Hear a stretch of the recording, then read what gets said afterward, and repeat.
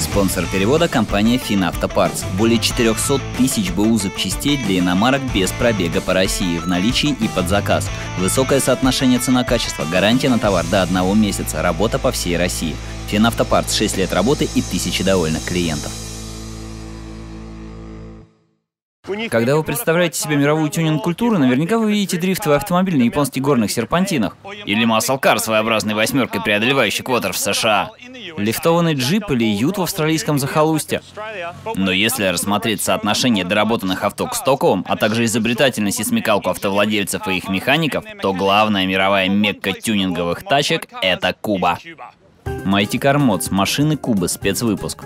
Перевод группы BMI Russian при поддержке FinAutoParts. По вопросам рекламы в роликах, которые мы переводим, обращайтесь на электронную почту editor собака либо в нашу группу ВКонтакте. Все ссылки под роликом. Также мы выполняем переводы с разных языков и озвучку на заказ. Куба расположена на севере Карибского бассейна, в 200 километрах восточнее Мексики, в 150 километрах южнее Соединенных Штатов. Обитает здесь порядка 11 миллионов человек. Мы находимся в Гаване, в столице, с ее уникальной цветущей автомобильной культурой. Это место стало культовой локацией восьмой части «Форсажа». Вот мы и решили сюда пожаловать, чтобы углубиться в местную автомобильную тусовку. Мы поездим на безумных тачках, заодно познакомимся с их владельцами, а также с теми, кто поддерживает их в рабочем состоянии состоянии. От мастерских на заднем дворе до механиков из джунглей на Кубе машины делают так, как ни в одном другом месте на планете. Кубинская автомобильная культура – это захватывающая смесь сумасшедшего американского изобилия 50-х и советской утилитарности 70-х. И все это приправлено настроением местных жителей, которые не унывают по жизни и успешно поддерживают свой стареющий автопарк в рабочем состоянии. Из-за близости Кубы с Флоридой она стала местом, где состоятельные американцы проводили свой отпуск в 40-х и 50-х. По улицам тогда рассекало множество американских сухопутных барж. Но прошло совсем немного времени, и один молодой парень по имени Фидель Кастро поднялся и сверг правительство, устроив революцию. Он взял контроль над всем 1 января 1959 Таким образом, поставки американских машин и запчастей иссякли мгновенно из-за коммунистического правительства Кастро и его связи с СССР. Америка ввела запрет на экспорт, и Куба обратилась к своим советским друзьям за автомобилями. Они закупали «Лады», польские «Фиаты», а также странноватые люксовые авто марки «ГАЗ» и «ЗИЛ».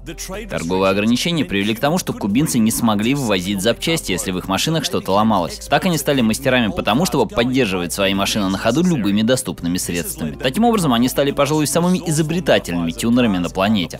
Из-за торгового эмбарго у кубинцев нет доступа к огромному рынку тюнинговых запчастей для классических американских машин.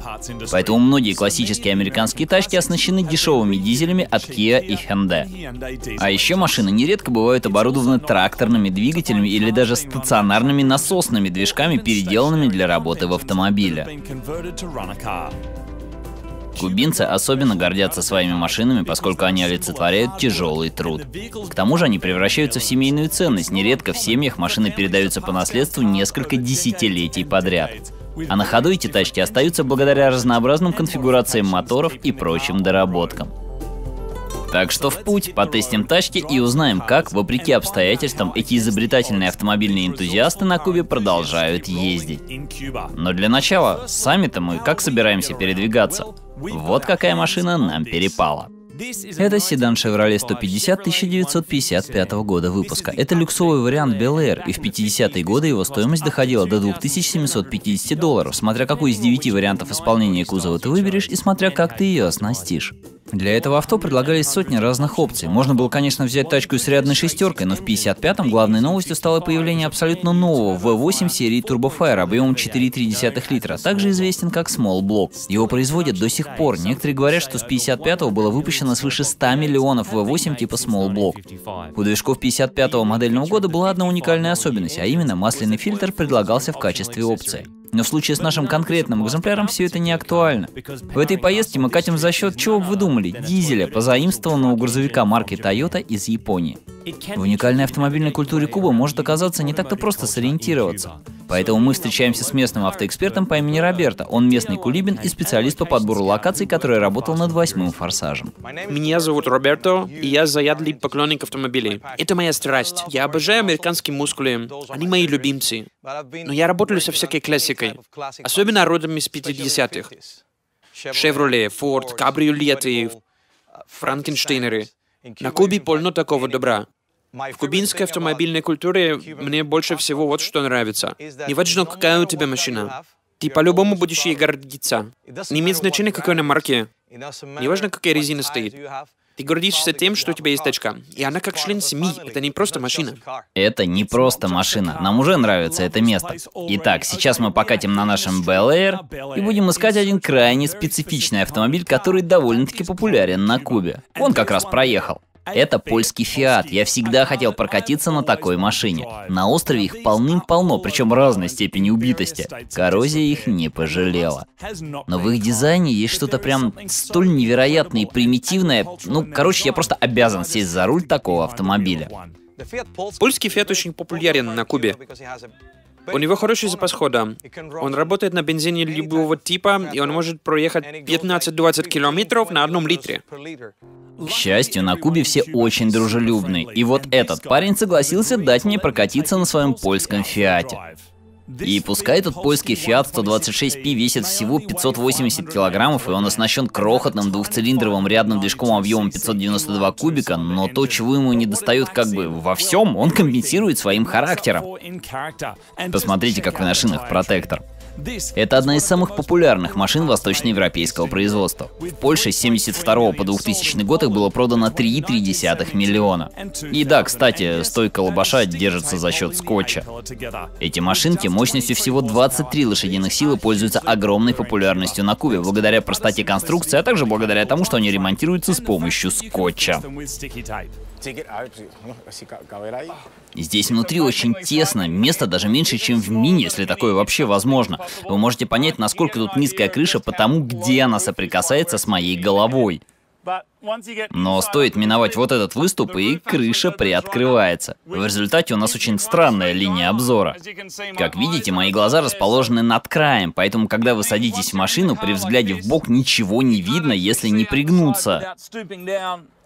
Э, руль, кстати, регулируется. Э, разве что он в принципе не фиксируется, что довольно-таки интересно. И мне не терпится увидеть, как эта машина заводится. Какая там процедура? Сначала нужно залить бензин. А почему он бензин в баке-то не оставляет? Дело в том, что топливо стоит больших денег. Поскольку оно так ценится и стоит столь больших денег, то из этих машин то и дело бензин сливают. Поэтому, собственно, владельцы запирают бензин в багажнике и заливают его по мере необходимости. Пары литров хватит, чтобы доехать куда угодно. Перед тем, как куда-то поехать, на Кубе приходится проделать вот такой ритуал. Кубинский да? ритуал. Да. Крутя, как же мне это нравится, обожаю. Дай-ка я тебе кое-что покажу. Начинается самое интересное. Топливные шланги пустые, поэтому вот что нужно сделать. Это ставится взамен отсутствующей детали. Отвертка обеспечивает бесперебойную подачу топлива. А теперь нам ее нужно толкнуть. Итак, польский фиат. А ты знаешь, как завести машину с толкача? Да. Короче, включаешь вторую, отпускаешь сцепление, и все, открываешь. Вторая. Так. Готов? Ручник опускаем. Нет, нет, нет, нет, нет, нет. Нет. А, ручник, значит, трогать не надо. Ни при каких обстоятельствах ручник трогать нельзя. Да. Итак, мы готовы ехать. Ну что, толкаем? Места у нас немного, дальше начинается авеню. Мы это сделаем. Сейчас отправимся в путь. Отпускаем тормоз. Включена вторая передача. Машину толкают и...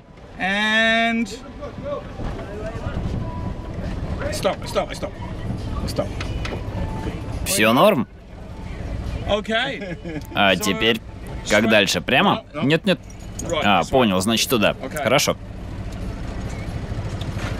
Я бы пристегнулся, только вот ремня нет.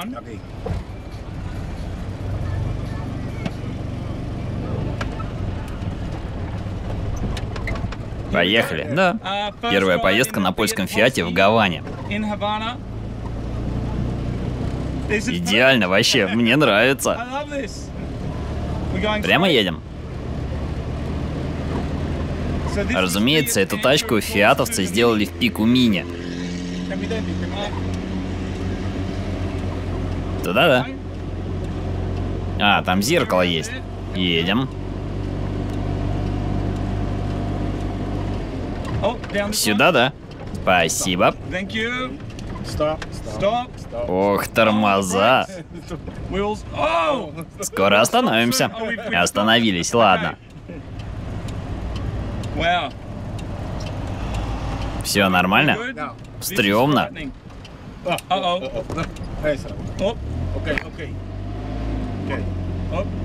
Так, я заглох, но умудрился сходу тачку завести. Направо, направо. Стоп, стоп, стоп. Да, опыт тот еще, конечно. Машина едет, но педали так близко расположены, что ноги лежат друг на друге внахлёст. Нельзя просто нажать ногой на сцепление, на тормоз или на газ. Приходится ноги вот как бы так чередовать.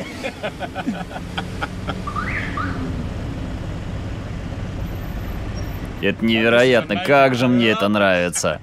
Как там говорят на Кубе, белиссимо? Вижу там маленький Дайхатсу Кора. Ну да, очень медленно. Выезжаем со второстепенной. Стоп! Я бы с радостью, если бы тормоза работали. Кубу потрясает еще вот чем. Люди общаются друг с другом с помощью клаксона. Без злобы, без агрессии, просто «фа-фа, я здесь». Люди общаются, обозначают свое присутствие. Думаю, многие культуры могли бы это взять на вооружение. Gracias.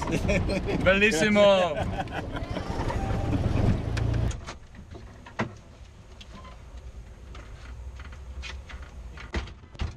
В общем, на невысоких скоростях польский Фиат напоминает э, доморощенную педальную машинку с установленным сзади движком от газонокосилки. Тормозов тут, считай, нет, это реально худшие тормоза, которые я когда-либо встречал в машине. Когда он мне говорил «тормози», я жал на тормоз и проходилось секунд 10, прежде чем машина останавливалась. И на дороге тачка ведет себя непредсказуемо. На каждой кочке она прыгает то вправо, то влево, то еще куда-то.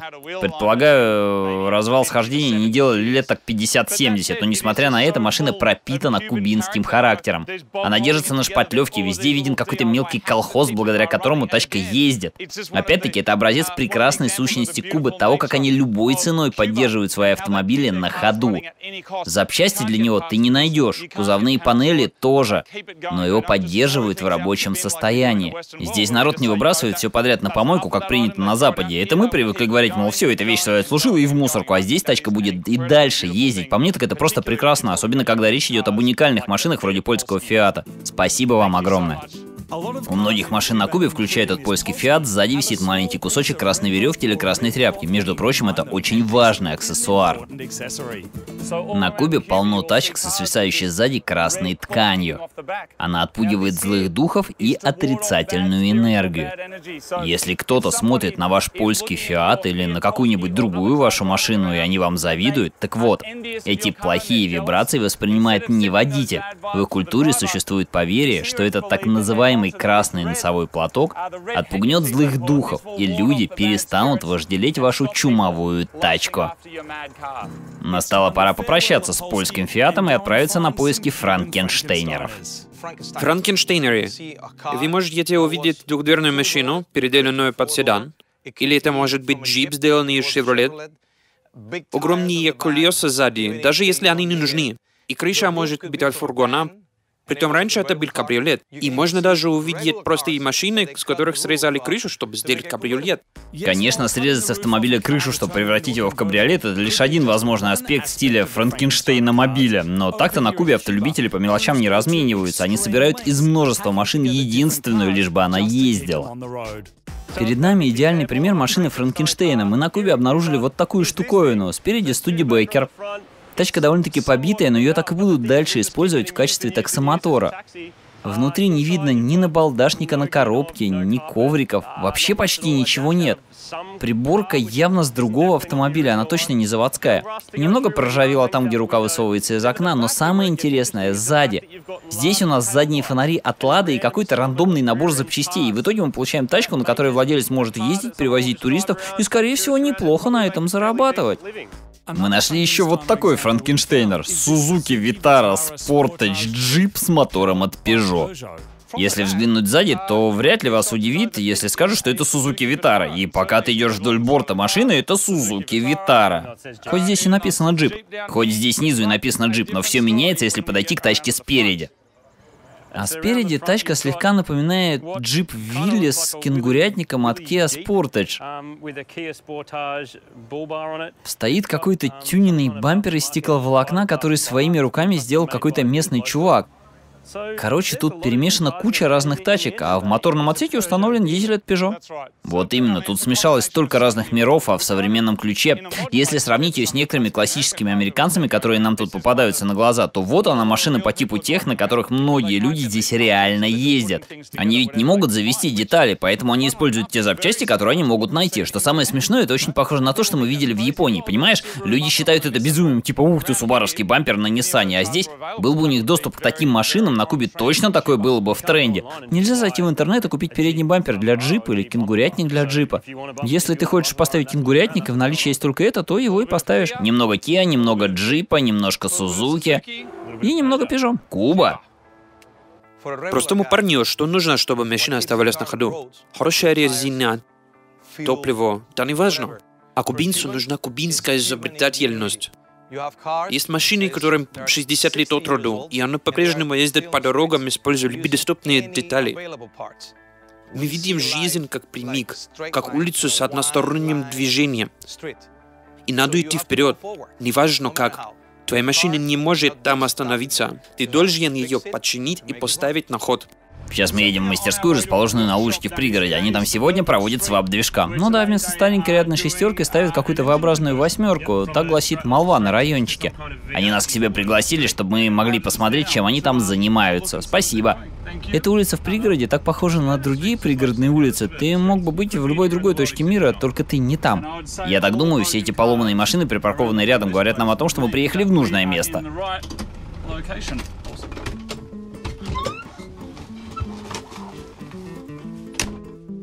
Мы приехали в маленькую походную мастерскую в пригороде, чтобы своими глазами увидеть, как местные жители чинят и дорабатывают свои машины, располагая ограниченным арсеналом инструмента и минимальным количеством запчастей. Сегодня парни свапают двигатель вот у этой тачки. Они говорят, что мы тоже можем присоединиться и помочь им на начальной стадии.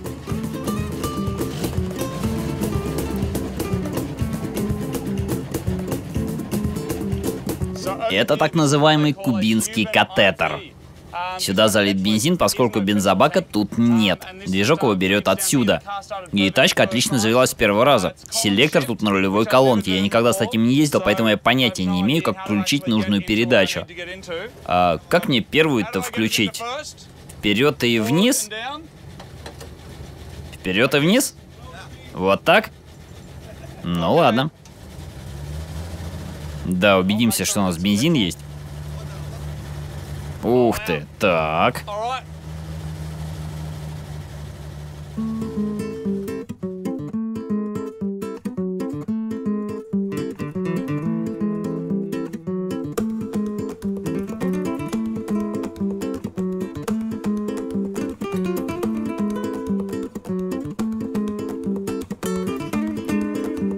Что это за проект, которым вы сегодня занимаетесь? Ну, сегодня я сосредоточен на том, чтобы снять капот. С этой машины придется все снять. Снимаем двигатели и вообще все механические детали. А вам нужна сегодня помощь в задешман? Мы с моим другом Марти сегодня совершенно свободны. Любая помощь всегда приветствуется, я не вижу никаких проблем. Отлично. Спасибо. Ну что, погнали?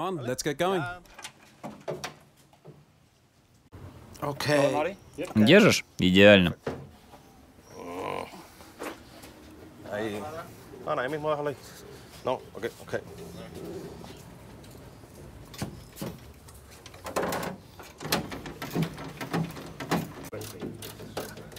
Каждый болт, каждую гайку нам нужно будет поставить на место. В запасе таких деталей у нас нет, поэтому нам всегда приходится возвращать их обратно. Таким образом, мы можем использовать их повторно. О, круто.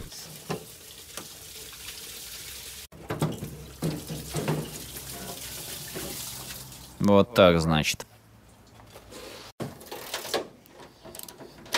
У этих машин весь крепеж дюймовый, а вот инструмент, где вы берете инструмент, чтобы их чинить? Мы долгое время жили в содружестве с Советским Союзом, а в СССР используют метрическую систему. Ее же и мы используем. У нас ключи на 12, на 14. До революции мы использовали английскую имперскую систему. Хороший пример того, как запчасти используются множество раз повторно, виден в слоях краски. Эта панель была покрашена минимум в 10 разных цветов по мере того, как ее использовали вновь и вновь. Скажу больше, краски тут столько, что панель на пол сантиметра толще обычной. Эти ключи еще дореволюционные. То есть им по 60 лет, по 50-60 лет. Труфит сделано в США. В каком состоянии находится мотор?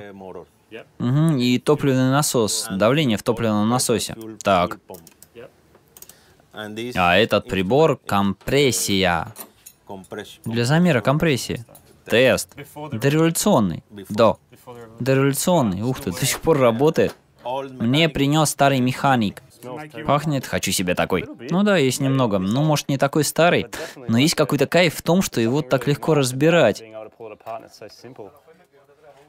О нет, я болт уронил. Не, ну дома ты едешь в магазин крепежа и покупаешь то, что потерял. Ну да. Странно подумать, но все сталкивались с тем, что магазины все закрыты, но представь себе ситуацию, когда так всегда. Вот-вот, но именно это, пожалуй, порождает изобретательность. Ну да. Приходится искать какие-то обходные пути. А еще меня радует то, что у всех болтов разная резьба, но их туда вставили по принципу лишь бы работал. Один из них уже явно терялся.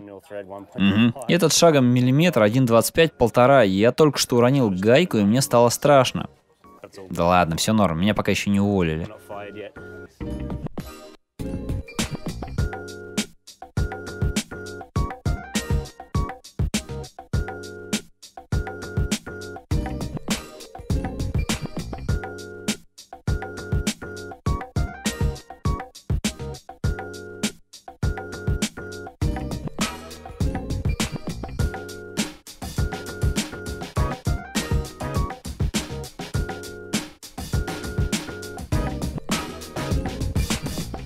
Классно было орудовать ключами вместе с аборигенами, но теперь, когда мы увидели, как люди дорабатывают свои машины в городе, нам интересно понять, как это делается в условиях еще более ограниченных ресурсов. И сейчас мы едем в джунгли, чтобы заценить одну сельскую мастерскую. Поведение слегка меняется, когда коляска установлена. Есть такое. Вообще много раз катался на мотиках, но чтоб с коляской ни разу. Глядись козликов, мужик, столько козликов. Привет, козлики, здорово, козлы.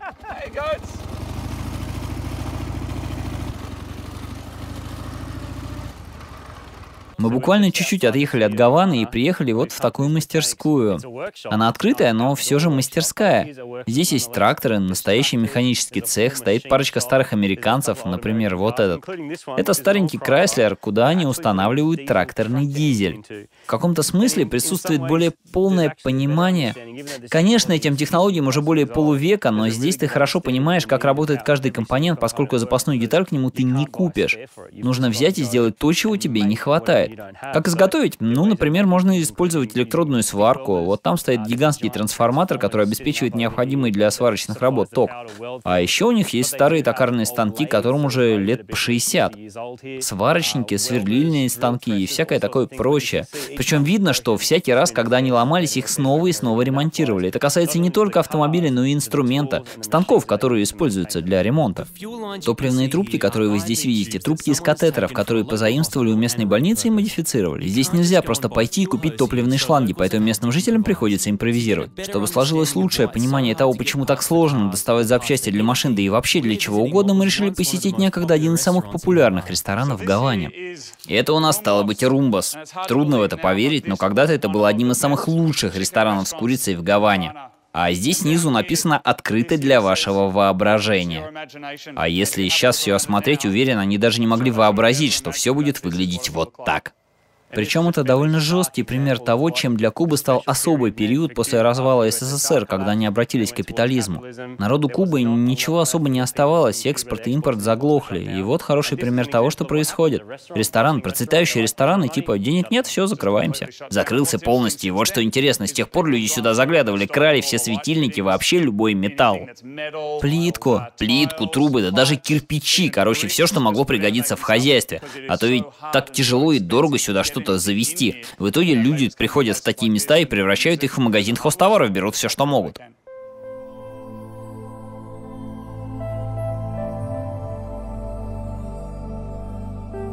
Настала пора нам вернуться в город. Нам предстоит поездить еще на одной машине. Моя первая тачка была создана в 70-е. Автомобили из той эпохи нынче встречаются довольно редко, но не на Кубе. Есть один конкретный автомобиль, который в Гаване встречается повсюду на котором я давно хотел прокатиться. У нас много русских машин. С 70-х годов на острове Валем повалили русские машины. Вот почему наш автопарк на 70% состоит из русских машин. Лада – самая популярная машина на Кубе. С ними можно делать все, что угодно. Очень распространенная машина среди кубинцев. Она хорошо ездит, они прочнее. Они стойкие к соли, к ржавчине. Местами они дерьмовые, конечно, но понимаете, это же Куба. Если у тебя есть что-то с четырьмя колесами, которое везет вперед, ты доволен. Ох, как я-то доволен. Я всегда хотел поездить на Ладе 1500. Она же ВАЗ-2103, как ее романтично окрестили у нее на родине. Ее сделали на базе Fiat 124 66 года и выпускали в России по лицензии. Наш экземпляр отличается такой роскошью, как мотор объемом 1,5 литра и мощностью 76 лошадиных сил, 4 главных фары, холодильник с напитками и часы. Выпускали их с 72 по 84 годы, и в то время очередь на покупку составляла 12 месяцев. Да, спрос на них был велик. Было выпущено 17 миллионов автомобилей ВАЗ. Таким образом, они занимают второе место в мире по количеству выпущенных машин. Ты ремень пристегиваешь? Ремень? Короче, нет. Слушай, а не так уж и плохо. Просто безумие. Тут такой люфт, у руля такой люфт, я могу его повернуть градусов так на 180, ну как минимум на 90. И мы по-прежнему едем прямо. Козлики. Вообще очень тяжело удерживать ее на прямой, вот в чем проблема. Поворачивает она нормально. Это Лада с мотором объемом полторы тысячи кубиков. Россия. Ну да, модель 76 -го года. В России машина водит тебя, Мартин. О да, плюс очень сложно. А тормоза-то работают? Ну, пытаются... Ой, блин, ямки очень тяжело объезжать. Ты пытаешься их объехать, а машина поворачивает в другую сторону. Ну, а так мы передвигаемся, мы уже катим себе. А еще сцепление тут непростое в использовании. Вторая. Сзади у нас немного туколы. И бутылка Havana Club. Мужик, я... Динамометрический ключ и подушка. Теперь я еду прямо, но руку я оставлю вот здесь. Рука лежит сверху на руле, вот теперь я еду чуть левее. Ух ты! Если повернуть на 90 градусов, то теперь я снова еду прямо. 10 градусов? Невероятно. Что повернуть налево один... Ух, гидрочата нет! Два оборота. Ну да. Гидроусилителя тут нет в принципе. Вот она, Куба. Попаду во вторую? Да. Мне нравится на самом деле, нас заставили поверить, будто я знаю, почему она тебе нравится. Нам нужен кондиционер и всякое такое прочее. Да это все нафиг не надо. Я знаю, почему она тебе нравится. Потому что это ведро? Нет, потому что ты не за рулем. Серьезно? Не, ну так-то это опыт, она чем-то напоминает Джемини, разве что. Настолько все плохо. Да ладно тебе, мужик. В плане возраста она напоминает Джемини, что логично, и едет нормально. Он говорит, что здесь порядка 70 лошадиных сил или около того. В наше время, если машиной рулит комп, и комп начинает бузить, то он такой типа «нет». Ну да, он уходит в отказ. Комп уходит в отказ. Комп говорит «нет, дальнейшая работа прекращается». Блок управления такой «извини, друг, но нет». А в России говорит «да» с этой машины. Вторая передача. Тяжело ездить на механике, когда переключаешься не той рукой. Великолепный вид на город Гавану, видал? Мы катим на ладе по Гаване. Офигеть! Нереально. Повсюду старые чумовые тачки из 50-х и 60-х. О, господи! Давишь на газ, и машина меняет направление. Покаж. Видал? Ух ты! Как она влево подалась. Акселератор, чтобы поехать влево, руль, чтобы поехать вправо. Ты чувствуешь, как колеса елозят по дороге с этими люфтами, блин. М-м, я никогда ничем подобным не ездил, зато едет. Да, оно едет. В Японии все говорят про форму, про функцию и так далее. А вот здесь чистая функциональность. Ты, кстати, оцени, где мы находимся. Ну да, это настоящий Карибский рай. Солнечно, красиво, зелено.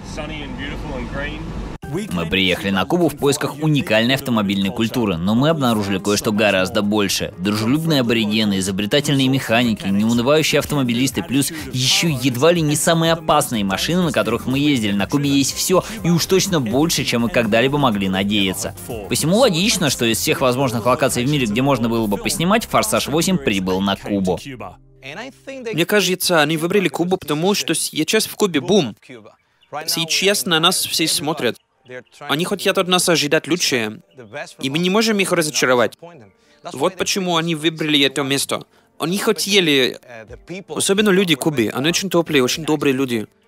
Вот почему они выбрали это место. Они хотели что-то особенное, и я уверен, они это получили. Итак, автомобили Куба. Где вы еще найдете место, где люди владеют машинами по 50 лет и ремонтируют их любыми подручными средствами, используя запчасти с тачек разных марок и моделей, лишь бы они ездили? Гавана – очень противоречивое место. Жизнь здесь бьет ключом, здесь богатая культура, настоящая сенсорная перегрузка, и в то же время люди здесь такие спокойные, они работают в кубинском темпе. Все занимает чуточку больше времени, чем ты ожидаешь, но люди здесь производят впечатление прям очень счастливых.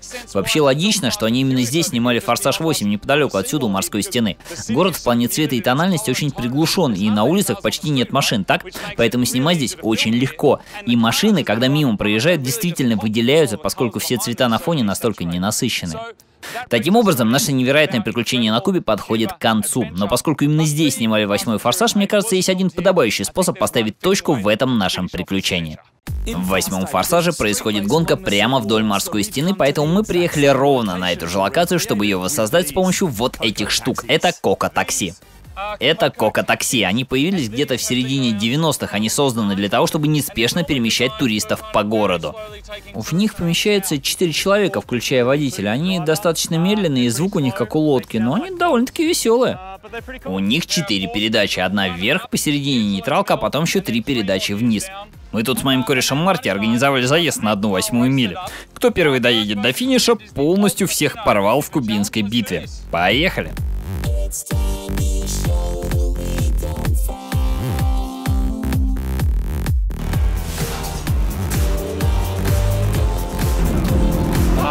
Ай, блин, я третью включил вместо второй. Я тебя отдеру. Атодран. Атодран, Атодран, Атодран. Перевод группы BMI Russian при поддержке FinAutoParts.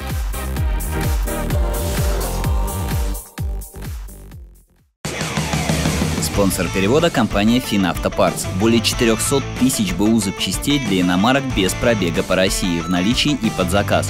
Высокое соотношение цена-качество, гарантия на товар до одного месяца, работа по всей России.